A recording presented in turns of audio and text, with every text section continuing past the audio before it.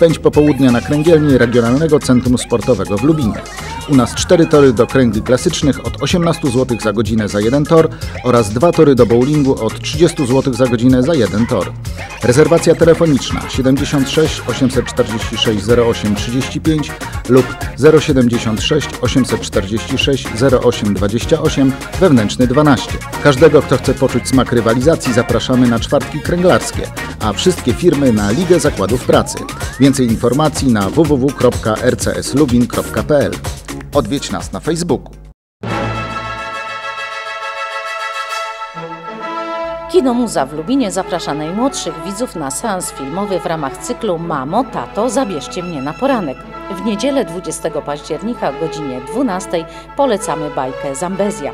Bilety 8 i 10 zł. Internetowa rezerwacja biletów na www.cekmuza.eu.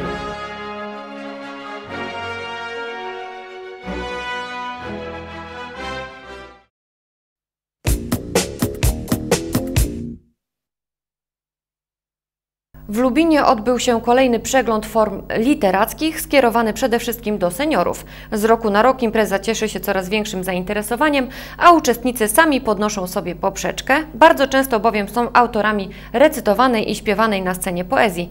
Pierwsze miejsce w kategorii wiersz autorski zajął Jan Homerski z Domu Kultury Kopernik w Legnicy, natomiast w kategorii poezja śpiewana za najlepszy jury uznało występ Teresy Szlendak z chórkiem Mariamet z Lubina.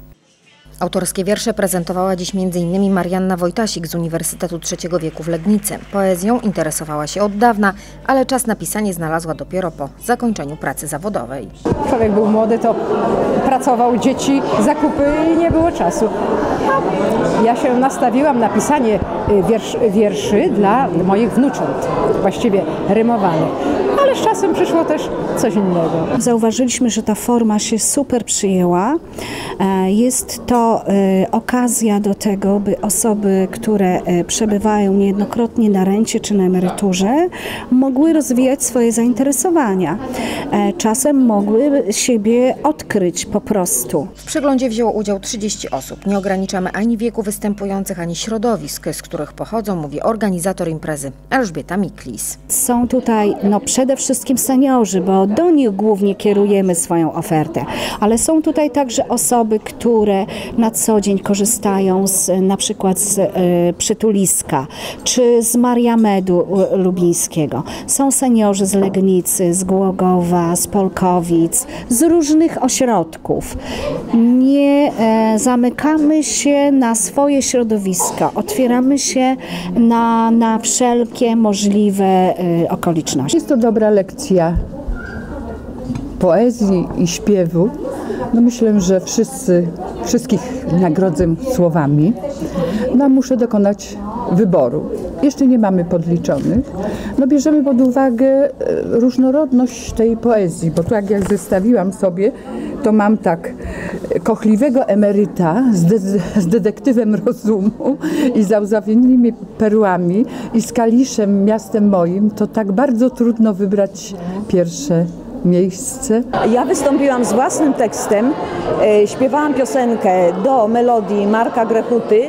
E, to była piosenka, e, to była poezja, e, bardziej ekologiczna bym tak powiedziała. To było o ptakach, które są obrączkowane, które, które mają tak zwane GPS-y, na pleckach takie antenki i plecaczki.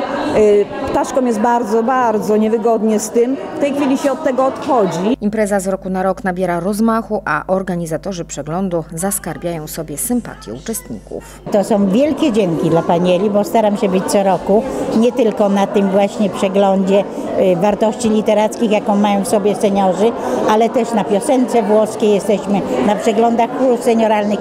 Ciepła, fantastyczna kobieta, która potrafi, nawet tu są moje koleżanki dzisiaj po raz pierwszy, są zachwycone osobą Panieli. Dziewczyna, która powinna być przykładem dla wielu domów właśnie takiego dziennego pobytu. Impreza zorganizowana została przez Stowarzyszenie Seniorów Trzeci Wiek, Dom Dziennego Pobytu Seniora oraz Miejski Ośrodek Pomocy Społecznej przy wsparciu finansowym powiatu lubińskiego.